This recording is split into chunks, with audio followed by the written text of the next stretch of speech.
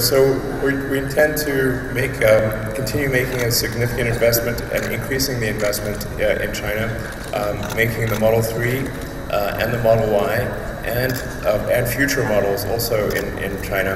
Um, and I think something that would be I think super cool would be to and, and so we're going to do it. Uh, we're going to try to do it is uh, to create a, um, a China Design and Engineering Center to actually design a, a, an original car in China for worldwide consumption. I think this will be very exciting. Um, I think China has some of the best art in the world. Uh, and